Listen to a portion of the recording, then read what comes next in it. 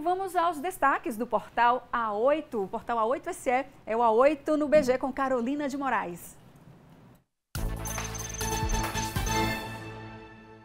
Olá, ótimo início de semana para você. Inicia hoje a vigésima edição do Festival de Artes de Japaratuba. O evento conta com uma extensa programação de manifestações culturais, apresentações artísticas e muita música. Tudo isso acontece a partir das 18 horas. Agora falando de qualificação, a Prefeitura de Carmópolis está promovendo três cursos de primeiros socorros, trabalho em altura e empreendedorismo. Para participar, os interessados devem se inscrever na sede da Secretaria de Assistência Social, apresentando a carteira de identidade e um comprovante de residência.